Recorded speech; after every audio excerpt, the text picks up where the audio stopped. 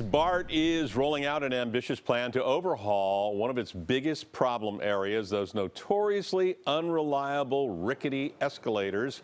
KPIX 5's Wilson Walker live in San Francisco with the $100 million fix. Wilson.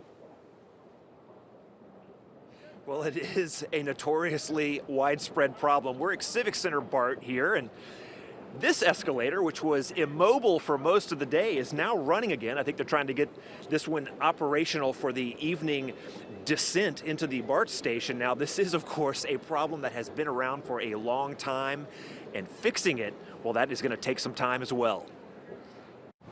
Oh no, it's, it's all over the city. It's, it happens way too often. A sight so familiar you may not even give it a second look unless, of course, it causes some real physical hardship for you. You know, my legs get all tight when I'm walking up the stairs. They're always out. They're always out. And while out of service escalators are something of a running joke among some BART passengers, Others might say those immobilized stairways are emblematic of BART's struggles on the whole. It is, it is wrong, but it, it makes you wonder that do they have enough money or, you know, something got to be done about it.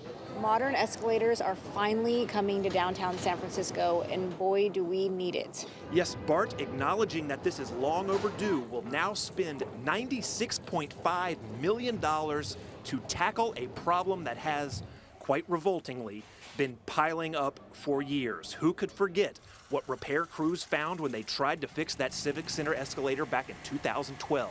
And when it was dismantled, they found so much human waste that they had to call in a hazmat team. It's a hard environment to keep things going. And the equipment itself hasn't made things any easier. Many of the escalators in the San Francisco stations were manufactured by this German company, but Orenstein and Koppel went kaput not long after these were installed, so replacement parts and maintenance were a problem almost from day one. Starting next year, the constant battle to keep them running will finally come to an end. Rip those out and replace 41 escalators at Embarcadero, Montgomery, Powell, and Civic. New escalators come with a 10-year guarantee designed for more wear, tear, and larger crowds.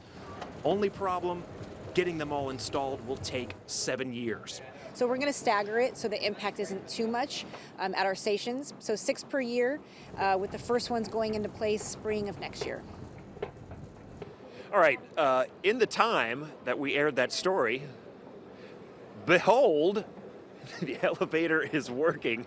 It is this constant battle. Everyone that's been walking by in the last two minutes has sort of been joking about this.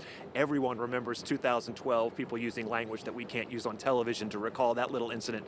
But obviously a massive project, seven years to replace all of those escalators. It will take a lot of time, but I can assure you that all the folks that are coming through here are kind of exasperated with situations like this and are ready to see this thing uh, kind of head the other direction. We are live in downtown San Francisco, Wilson Walker, KPIX 5.